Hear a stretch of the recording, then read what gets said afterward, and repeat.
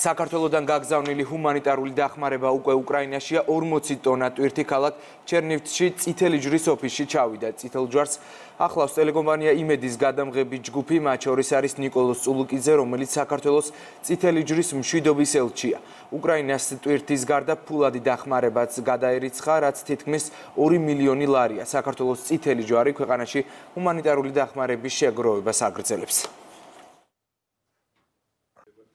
ამ კონფლიქტის დაწყების დღიდან საქართველოსში დაიწყო ჰუმანიტარული ტვირთის შეგროვება კერძო სექტორის მიერ, მოქალაქეების მიერ და უკვე დღეს ჩამოვიტანეთ 40 ტონაზე მეტი ჰუმანიტარული დახმარება, რომელიც არის სურსათის სახით.